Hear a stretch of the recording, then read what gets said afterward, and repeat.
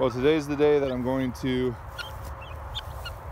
let them roam around and hopefully come back to the chicken tractor. I want to push them back in the tall grass so that they get some protection.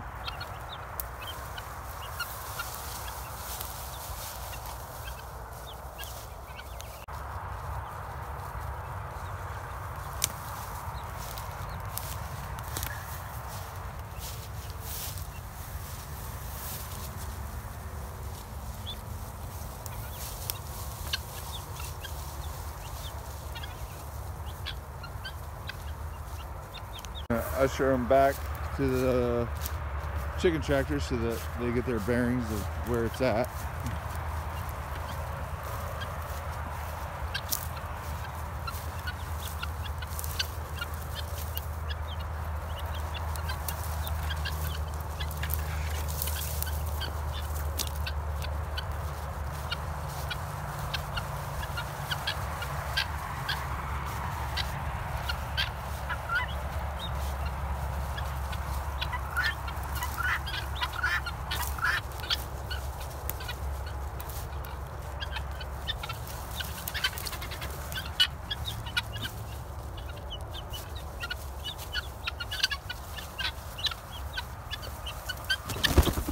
Huh. Well, they get an idea of where it's at.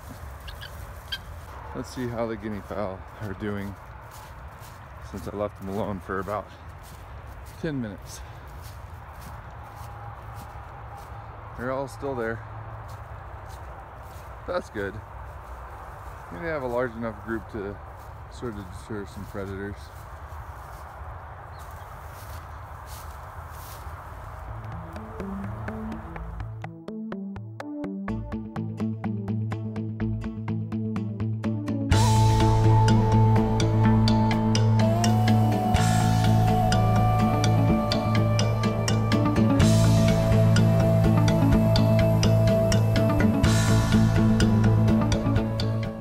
It's good news. I looked across on the other side of the pond and saw some guinea fowl wanting to get into their little chicken tractor. So let's see if uh, all of them showed back up.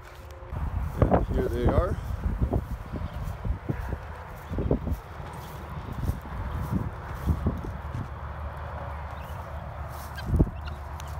Well, they all survived their first night. Only three of them were in here. Now I did have the other portable sheep shelter open so they could get out of the rain if they wanted to. But yeah, last night when I was looking for them, I could not find them for the life